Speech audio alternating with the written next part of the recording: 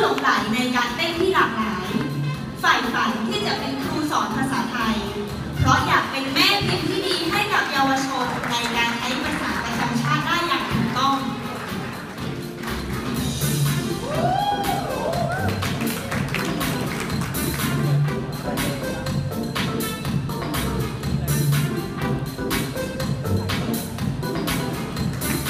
หมายเลข